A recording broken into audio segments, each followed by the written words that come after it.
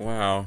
I ordered this yesterday at around 5, well, yeah, a p.m. in the afternoon, and it arrived this morning. I don't know, where's the date here? Um, I don't see the date. You see what it... Hakko USA. It's a good brand. Hmm. Desoldering pump. Um.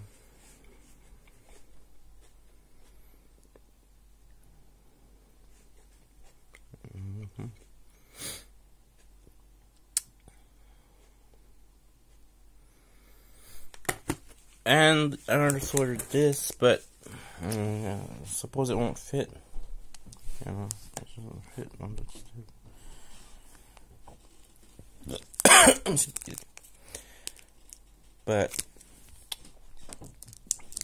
it. Doesn't fit on it. But um doesn't matter because I'll show you why it doesn't matter.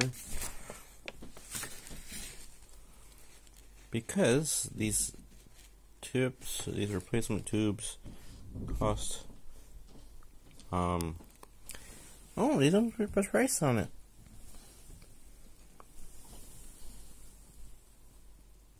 Oh, they're both from Japan. Wait a minute, the price here. What's the price? Oh, it was very cheap.